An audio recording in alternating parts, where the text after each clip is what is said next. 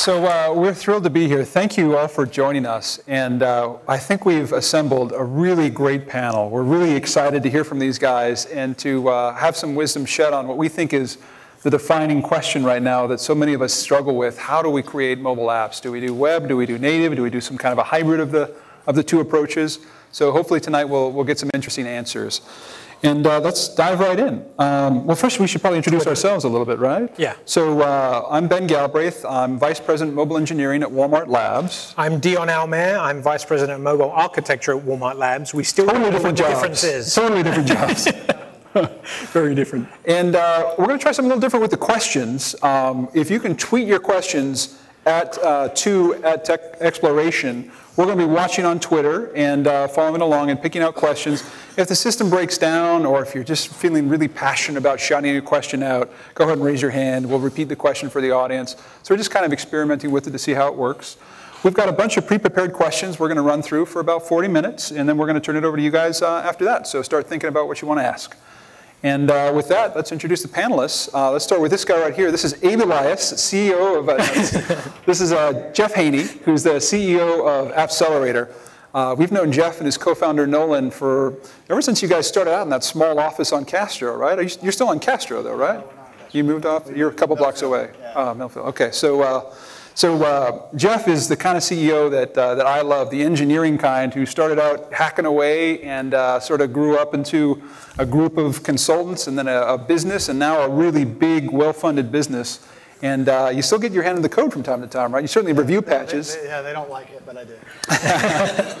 So, uh, so of course, the, the flagship product of his company, of Appcelerator, is Titanium, which is a cross-platform GUI toolkit that's on top of the native platforms, on top of Android, on top of uh, iOS, and gives you an API you can use to create apps that actually use native widgets. And you also have a layer on top of HTML5 too, right? Yep.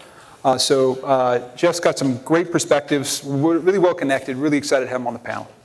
Then we've got Abe Elias. Uh, we met Abe uh, a long time ago. I don't know if anyone remembers YUI EXT, that then became EXT.js, that's now Sencha. Abe's the co-founder of Sencha and the current CTO. And so he's been involved in the whole kind of Ajax space uh, since the beginning. I remember writing blog posts on, uh, we had a little blog called Ajaxian.com about all of the really, really cool stuff that they were doing to build kind of real world uh, Ajax apps. And then naturally, when the mobile revolution came along, they uh, jumped on that too, and they were able to kind of take the best of their framework and build Sencha Touch to give you a, a really fantastic HTML5 uh, based framework that can try to abstract away the different pain of uh, getting things running across uh, the different web runtimes. And so uh, Abe joined us in Silicon Valley two or three years ago from beautiful sunny Florida. I'm sure he still likes it here, but uh, really glad to have you on. Thank you. Next is Kevin Hurst, who uh, just met tonight. Uh, Kevin is the Vice President of uh, Mobile Products for uh, Mobile Product Management. Right? Did I get that right? For eBay. Uh, and uh, he has some of the coolest products around in his portfolio. Notably, I just wanted to highlight one of the newer ones, the eBay iPad app that shipped recently. I don't know if you all had a chance to play with it, but it's really kind of dramatic, Kevin, if I can say, because like the eBay apps I'd played with before were, they're okay. Uh, but the eBay iPad app, I think, is really best of breed for retail and really uh, rose the bar. Uh, I know the team's obviously doing a spectacular job, and it shows in the numbers. Um, so they're, they're running $10 billion worth of transactions through mobile now. That's, Billion? That's like this past year, cumulative, cumulative total, is that? And, uh, and they So add- drinks are on him, right? Is that what that's that right. means? That's right. Uh, I'm sure the bonus pool of material.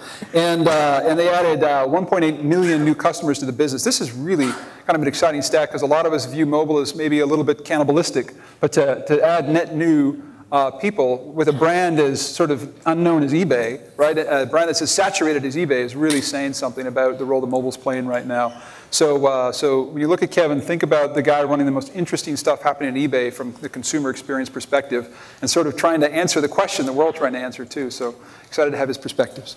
Next, we got Andre Charland from Canada, who uh, wishes he was skiing right now, uh, but instead he's kindly joined us. Uh, Andre had a, a company called Nitobi, and uh, they also, back in the, the old days, the pre, even before jQuery, had this uh, top-notch Ajax framework that, that they'd built out. Um, and then as they were kind of building this, there was iPhone Dev Camp and, and all these kind of things kind of coming out. Remember when that first iPhone came out, the only way you could do anything with it was web stuff, right?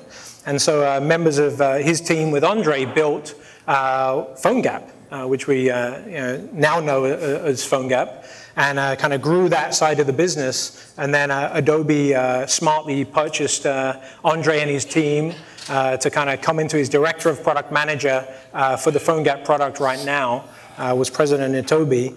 And uh, he was always really interesting to work with. We, we have uh, had his company as a consulting company work on several uh, projects for us. And they were really great guys that you know, could, could build great things for us, but also managed to build their own really successful products. And finally, have any of you seen that demo that's a couple years old now of uh, a web browser showing sort of native looking iPhone components and like uh, going through all these different stages called jQTouch? And it was just sort of this really sexy demo. Anyone see that before in the audience? So this, this last guy, David Canada, am I pronouncing the last name right, by the way? Canada. Canada, Canada. Canada? Canada? Uh, again. it was on the mind. Um, he did that. That's his framework, jQTouch. Um, and uh, so it really sort of is how he first came on the scene and then he went over to Abe's company, Sencha. By the way, Abe, how, why did you guys part ways? Did you? No. but, uh, he was at uh, Abe's company for a while, and uh, at Sencha, and really was sort of defining the look of Sencha Touch and that framework, and did a lot of great work there, and uh, and is now designer in residence at Benchmark Capital. And at some point, if we have time, we'd love to understand what that actually means. Designer uh, house. Yeah, yes, thank you. Thank you for that clarification. Uh, so designer in residence at Benchmark Capital, where he uh, works with all their portfolio companies and is a general resource and, and uh, sort of a sweetheart gig, I think. So uh, that's the panel, and uh, let's dive in with some questions. Cool, so we've got a few different themes. Uh, we're gonna kick off with talking about you know, the, the, story that's come up around Facebook, right? Facebook was very bullish on uh, using a hybrid approach, uh, talked about this a lot, SDK in there to use HTML applications within uh, the Facebook app. It's had an interesting career where Joe Hewitt built this you know, native uh, Facebook app at first that people loved, and then kind of built a CSS framework in Objective-C and uh, became this really complex thing.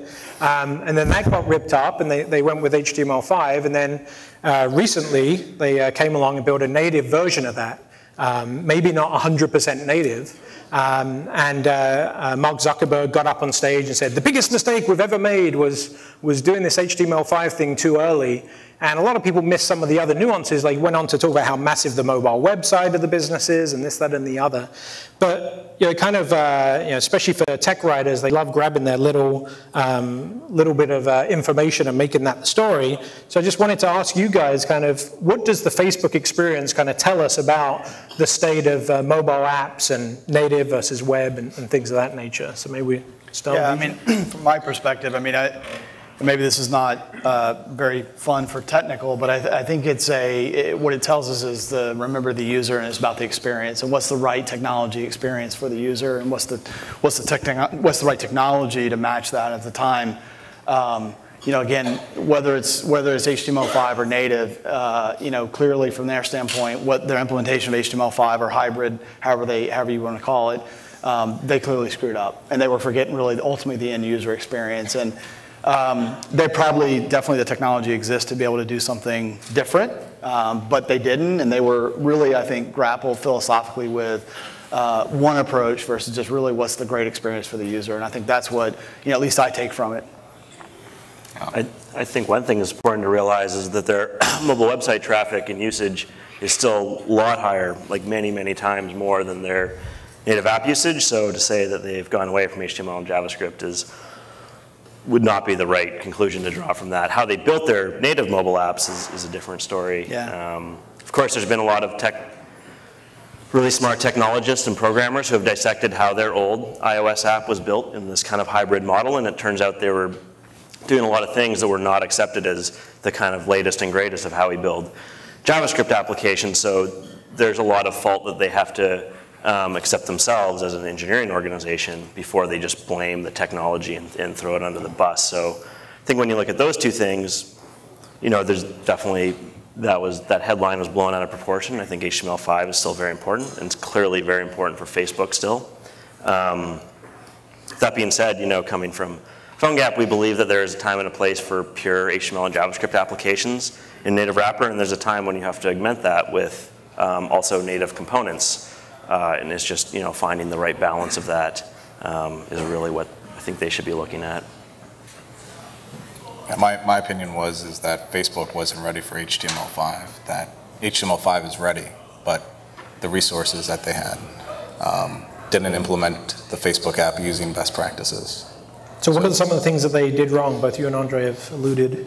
Yeah, so the first thing was, is that it was heavily XML-based, so any request that went out was upwards of 200K.